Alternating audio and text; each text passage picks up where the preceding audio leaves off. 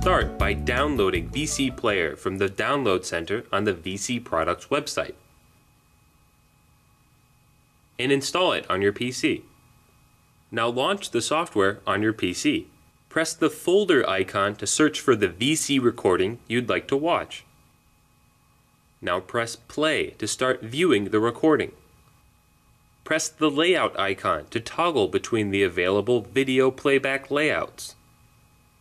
Like all media players, with VC Player you can pause, jump backward, skip forward, stop the video altogether, and adjust the volume of the audio. Start by loading the video you wish to convert and pressing the conversion icon. Go to Choose Destination to select where you'd like to save your converted video. Select the layout you would like for your converted file and press OK. VC Player will automatically begin converting your file. To play back, open the converted file and press play.